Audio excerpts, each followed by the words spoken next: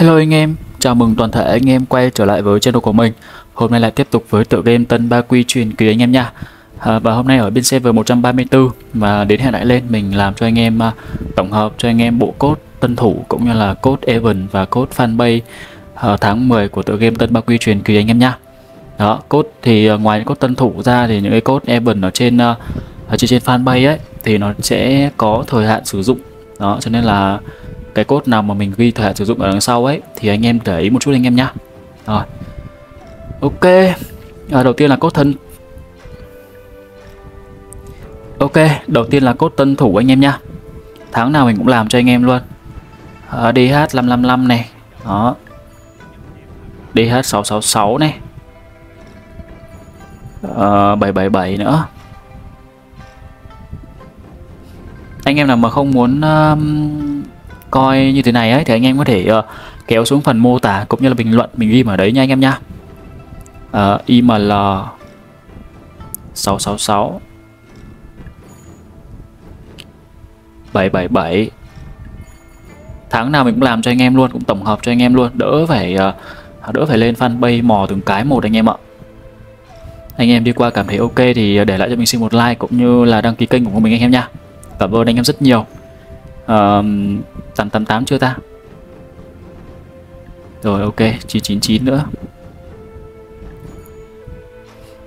Tiếp theo là Roy NDH NDH này. Đó. Roy NIML NIML rồi thì uh, xem nào. QW NDKG đó. Không biết cái này còn được nữa không á? OCT23 à được anh em ơi, được được, ngon. Đó. Tất cả cho anh em luôn, tổng hợp tất cả cho anh em luôn. F A FBQA 102 vé chiêu mộ. Cái code đấy thì ờ, hạn sử dụng đến ngày 31 tháng 10 anh em nha ờ, tiếp tục. WEE Ken 108 tháng 10 có 31 anh em ạ. Ok. Đó anh em ơi. À, cốt tân thủ với là cốt tháng 10 hình như cốt tháng 10 đến hôm nay được có 7 cái thì phải.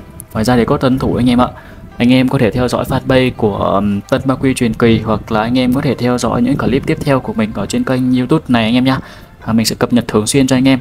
Hàng tháng thì mình sẽ làm hai tôn à, hai tôn cập nhật cốt anh em ạ.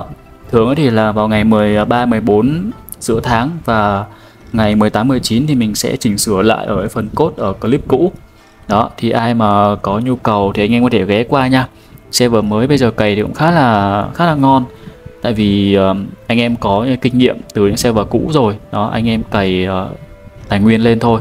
Anh em đầu tư uh, cái gì chuẩn chỉ từ đầu luôn. Đó cốt thì nó cũng không có gì nhiều đâu. Một chút tài nguyên nhỏ cho anh em. Chủ yếu là nhân phẩm của anh em thôi có nhiều anh em nhập cốt xong á mở 10 cái tầng bảo đồ này ra một món đồ đỏ luôn. Hoặc là hai món đồ cam gì đấy. Đó hoặc là anh em có thể uh, uh, tích lệnh chiêu mộ anh em quay. Nói chung là đầu game anh em tích được cái gì anh em tích thôi. Một chút tài nguyên cho anh em um, tân thủ đầu game nó được dễ thở hơn một chút. Rồi à, tổng thì gần như là 15 hay 16 cái á mình sẽ ghi vào phần mô tả cũng như là bình luận nha. Anh em đi qua cảm thấy ok cảm thấy thú vị thì anh em để lại cho mình xin một like cũng như là một lượt đăng ký ủng hộ mình anh em nhá cảm ơn anh em rất nhiều.